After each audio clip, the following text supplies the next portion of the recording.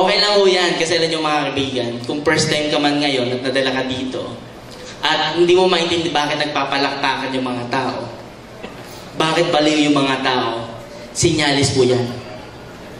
Nasa mental ka na. kasi pag nababaliw ka daw kasi, at na-excite ka, tinatawag ka talagang baliw. Tama mali? Kasi yung mga taong yumaman daw po, at naging successful sa buhay nila, ito yung mga taong baliw talaga kung tawagin sa mundo natin. Ano nga yung mga kaibigan? Kaya ako sa totoo lang nung araw, tinatawag din nila ako, baliw din ho. Alam mo sabi ko, okay lang yan. Kung baliw man ako, yumayaman ako. Gusto niyo ba maging baliw? Sino gusto maging baliw? Taas kamay. Plastic. Yung gusto maging baliw, tumayo! Ana, halata. Sabi na, eh, ano na yan, ano na yan. Nakuha niyo po? Kasi, kasi alam niyo mga kaibigan, kailangan talaga baliw ka. Kailangan aggressive ka.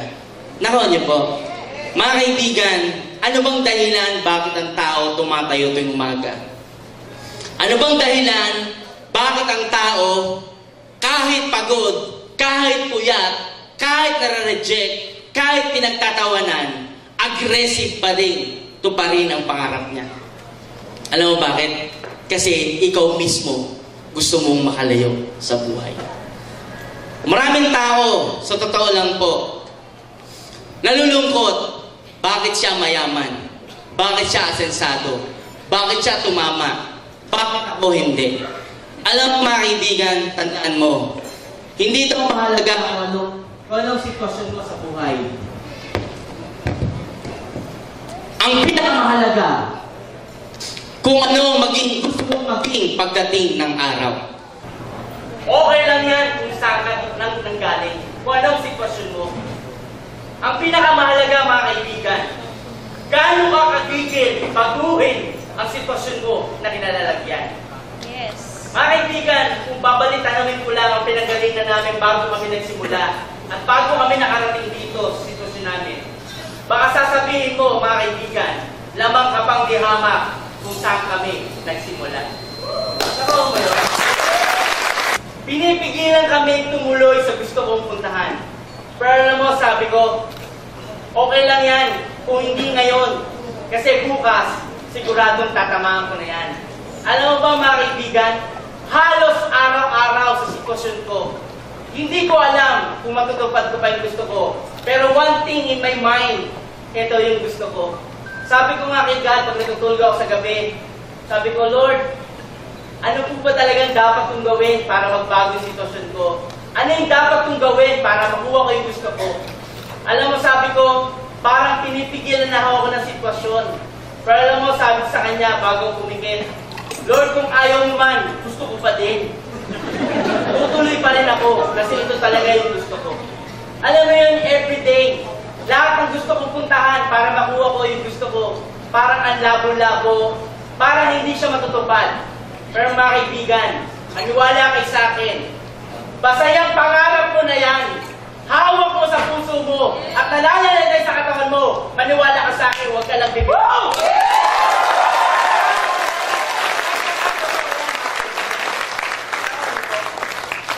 Kasi ako mga kaibigan, totoo lang, problema ko rin pera talaga. Problema ko pera. Alam mo na sinimulan namin itong company na to, GPRS, and nagkaroon ng UPS. Yan si Jenny, tayo mga pare. Yan tao na yan, pogi lang siya. Kasi ako cute. Palakpakan nyo nga. At si Larry, tayo ka Larry. Yan, kalbo na. Kagagawa ng program. Palakpakan niyo po. Kaming tatlo po nagsimula ng company. Nako niyo po. Sige po na kayo. Nakakaagaw siya na kayo eh. Alam yung mga kaibigan, yung huling pagmamarket namin ni Sir Jelly, alam mo, pauwi na kami. Inikot namin yung buong nabalitis na yan. Talagang nilakad namin, binaybay namin yan. Wala kaming na-close. Sabi niya, pre, uuwi na ako. Oo nga, uuwi na tayo. Sabi niya, eh, may pera ka ba dyan? Sabi ko, meron, 500. Nasaan? Nasa ATM, withdrawin mo. Sabi niya, eh, pag na-withdraw, wala na matitira. 200 lang kunin mo, gago. wala na akong pera. Siya mismo umaayaw na. Alam mo, sabi ko sa kanya, Pare, ngayon pa lang ako titira, ayaw mo na. Imaginein mo ang response ni God. Pag talagang determinado kang makuha ang gusto mo. Grabe. Instant po. Instant yung reply ni God. Kaya tandaan mo, pag parang imposible, pag parang hindi na totoo, pag parang walang nangyayari, dapat lalo kang tumuloy. Kasi ibig sabihin, sinusukat ka na ni God kung deserve mo ba yung pangarap na sinisigaw mo.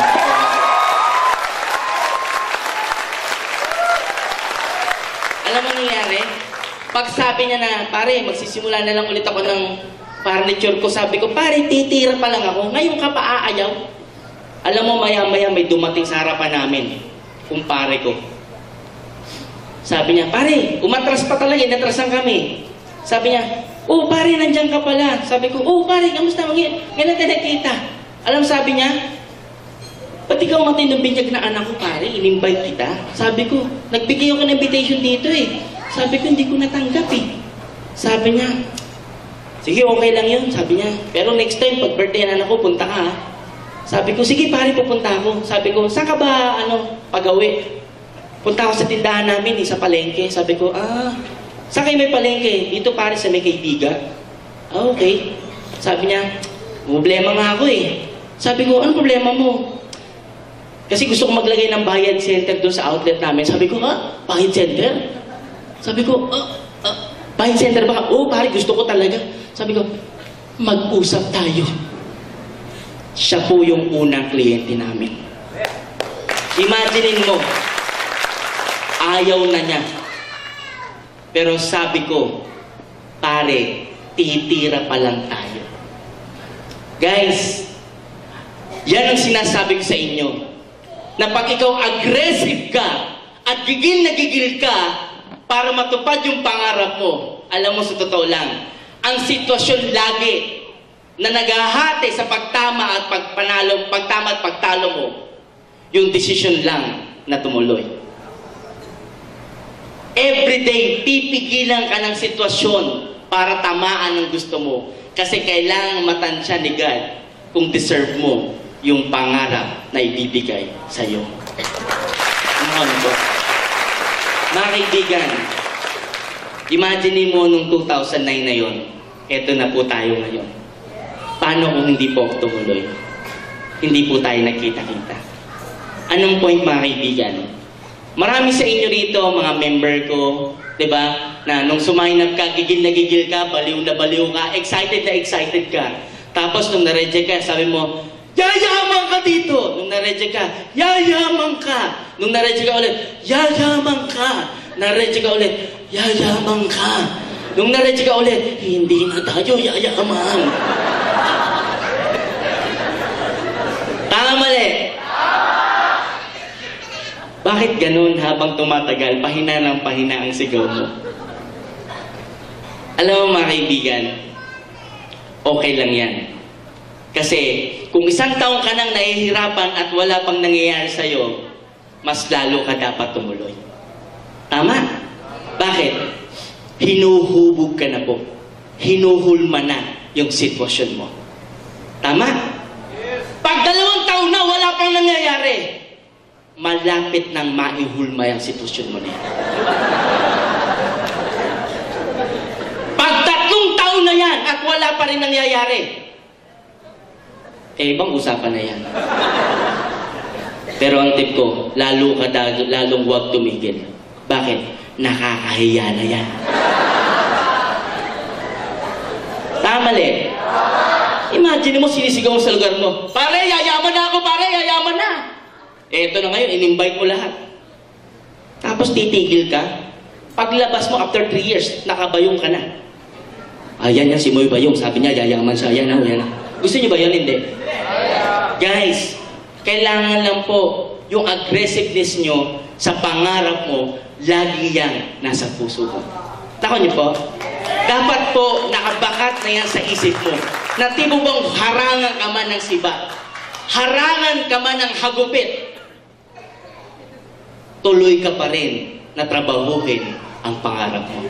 Nako niyo po, alam mo yung mga taong nagsalita rito kanina, sila lang po yung mga ilan sa mga taong nagsimula rin katulad mo. Tingnan niyo po si Albert Cirillo. Palakpakan niyo si Albert Cirillo. Sino yung nagsasabing kailangan kumpletong katawan mo para yumamang ka? Siya ho kulang. Kaya nga pag bumili ng sapatos, lugi. Kabyak lang nasusuot. Wala bang 50% discount yan, pre? Sayang. Ako niyo po. Tanda mo mga kaibigan, ang pinag-uusapan dito, ikaw. Hindi pinag-uusapan yung mga in-invite mo. Hindi pinag-uusapan yung mga nagre-reject sa'yo. Ang pinag-uusapan, yung pangarap mo gusto mong matupad. Nako niyo po. Kaibigan, 1998, when I started do networking, kung maibabalik ko lang sitwasyon, alam mo, lahat ayaw sumali. Sila, in-invite ko tong dalawang pogi na to. Pumapalakpak lakas. Woo! Grabe! Woo! Makdo na tayo, pre! Tapos hindi na nagpakita sa akin. Nangyari sa inyo? Sino dito yung hirap na hirap siyang na-invite bago sumali? Kaya ka nahihirapan, karma-karma yan. Nako niyo po. Kaibigan, kung bakit po ganito ako lagi, every time na tumatayo ako sa harapan, sabi ko nga, pag tumayo ako sa harapan, para ako nagiging super saiyan. Alam niyo bakit? Kasi nakabakat sa isip ko yung bagay na gusto kong mangyari sa buhay ko. Kahit simulan natin kwento, kahit bukas ulit, kukulit ko sa paulit-ulit, isa lang yung gusto ko. Malinaw sa akin yung gusto ko. At gigil na gigil ako doon kasi alam mo bakit? Lahat ng bagay na create siya dalawang beses. Una, sa isip. Pangalawa, sa actual. Tama? Pag na-compute na ng isip mo yung mga bagay na gusto mong mangyari sa'yo, alam mo, maniwala ka sa akin, dun pa lang, achieve mo na siya. Ang kailangan mo na lang gawin, tatrabahuin mo na lang. Nakuha niyo po? Problema ko pera dati. Problema lahat sitwasyon. Ang dami kong problema. Alam mo bakit? Pati sarili ko, namumblema na ako kung kaya ko. Pero alam mo, hindi. Tumuloy lang po ako. Yung gigil ko everyday, alam mo yun yung pag may kausap ako, hindi po pwede, hindi, hindi siya mabaliw eh. Kaya lahat ng prepresentahan ko, pagkatapos ko mag-present, alam ang sasabihin ko sa kanya, naintindihan niyo po ba? Alam ang sabi, hindi. Sasali po kayo? Oo. Imagine mo na hindi naintindihan, sasali. Bakit po? Dapat ganyan kang klase mag-present. Pasinin nyo, pag ang dami mo sinasabi, naintindihan ng kliyente mo. Naintindihan mo, ma'am? Opo. Sasali ka? Hindi. Bakit? Naintindihan eh. Tama? Pasinin mo yung katabi mo, tanungin mo, nung nag-present, naintindihan ba niya? Tanungin mo. Sagot niya, hindi. Ba't siya sumali? Grabe. Tama mali. Kaya huwag niyong gagalingan. Lulupitan niyo lang. Nakuha niyo po? Kasi mga kaibigan, pag gigil na gigil ka at baliw na baliw ka sa paggawa mo sa business na na ginagawa mo, maniwala ka sa akin. Yung kausap mo, hindi niya tinutugnan yung sinusulat mo. Hindi niya tinitignan yan.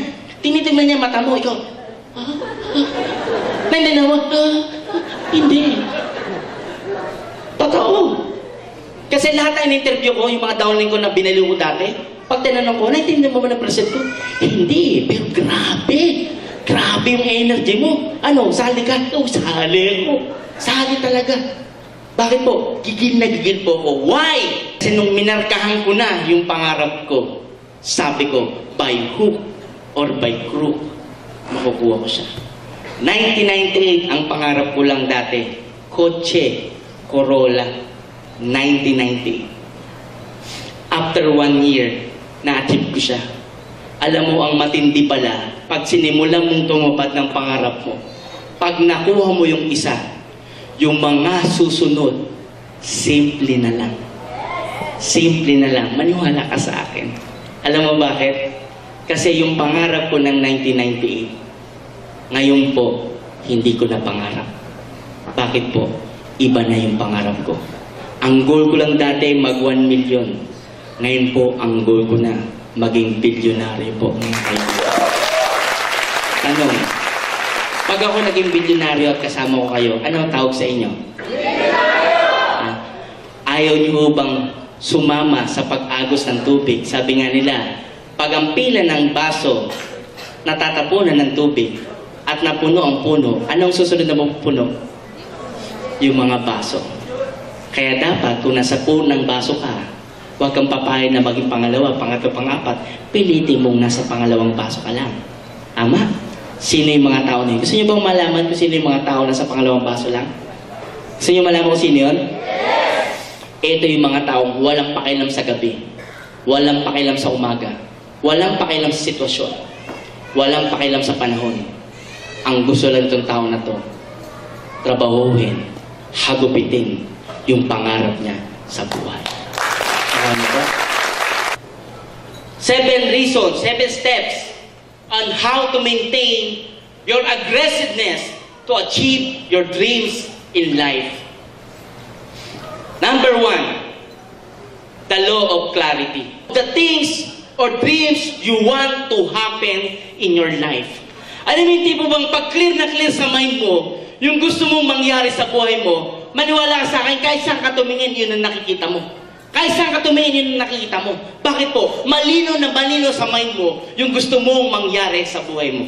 Sino rito yung mga tao na in love? Yung first time nilang ma-in love? Oh, chu, chu, chu, chu. Nagturo pa, ay, siya, siya, siya. Nung first time mong na-in love, sino nakikita mo sa bawat corner ng buhay mo? Sino? Di ba katatingin mo? Siya talaga. Tama mali. Doon sa mga babae, nung first time na in love, clear na clear yung gusto niya. Sabi ng nanay niya, Huwag kang makipag-date kay Jose. Malinaw? Opo, Daddy. Pag-text ni Jose, dito na ako sa ilog, susunod ka na. Nasaan si Nene? Nasaan si Nene? Nasa ilog din. Bakit po? Malinaw na malinaw na gusto niya si Jose. Guys, pag ikaw nangarap, parang pag-ibig din yan. Dapat malinaw na malinaw sa mind mo yung gusto mong mangyari sa buhay mo. Harangan ka man ng sibat. Harangan ka man ng nanay mo. Anak, magta magtakip ka na ng tenga. Naku niyo po, bakit mga kaibigan? Ganun dapat kalinaw. Tingnan mo si Bill Gates, si Steve Jobs, itong mga tao na to na tinatawag ng mga baliw.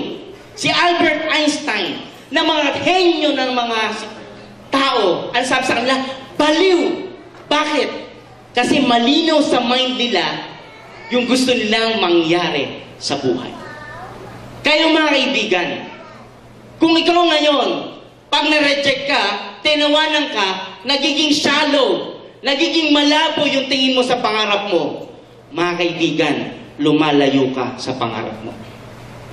Dapat ngayon pa lang, kaya sabi nga nila, di ba, kailangan meron kang clear picture. Kung hindi mo kayang imagination, lagyan mo siya ng larawan. Dapat lagi mong nakikita. Araw-araw, pag na-reject ka, tignan mo lang siya. Pag na-depress ka, tignan mo lang siya. Bago ka matulog, tignan mo siya. Why? Kailangan maging habit na ng katawan mo na yung pangarap mo na nandoon sa mind mo. Kasi pag lagi na siyang nasa mind mo at naging habit na siya, yung galaw ng katawan mo, maiiba.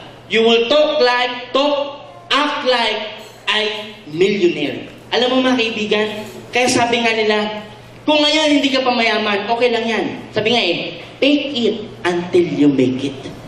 Tama? So ngayon pa lang pag tinanong ka, sabi mo, kamusta ka na? Eh, ito. Mayaman. Libre ka pagsali mo. Di ba? Kasi marami kinakabahan. Tandaan mo, dun pa lang sa alam mo na pwede kang yumaman, lamang ka na sa tao sa labas. Lamang ka na. Alam mo bakit? Yung mga tao sa labas, alam lang nila kumita. Kayo ngayong nandito sa room na to, alam niyo na pong yumaman. Ano niyo po? Law of focus. Kailangan nakapokus ka. Pag yung pangarap mo, gigil na gigil ka na, na-install na yan sa mind mo, dapat focus ka na. Huwag yung pabago-bago ka. Hindi pwedeng iibahin mo lagi yung goal mo. Hindi pwedeng iibahin mo yung gusto mo. Kung ano yung gusto mo, yun na dapat yun. Trabahuin mo na talaga siya. Kahit anong mangyari. Harang ka man ng kahit ano, maghirap man ang sitwasyon mo, okay lang yan. Alam mo bakit? Maraming taong bago yumaman. Talagang grabe ang dinaan ng sitwasyon sa buhay. Ang importante, nung sinet mo na sa mind mo, yung gusto mong marating, focus ka na doon. At willing kang trabahuin yun, whatever it takes. Malinaw po? Law of intensity. Ano yung sabihin mga kaibigan? Dapat gigil na gigil ka everyday. Dapat kitang-kita sa energy mo na talagang desperate ka na ma-hit or ma- ma- mata- makuha yung pangarap mo sa buhay.